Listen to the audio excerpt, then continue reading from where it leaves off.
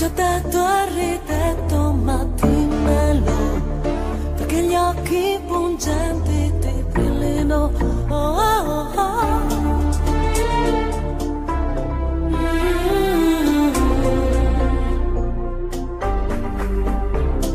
Spingiti come il vento tra i rami degli alberi, nel fogliame odoroso che si è mosso per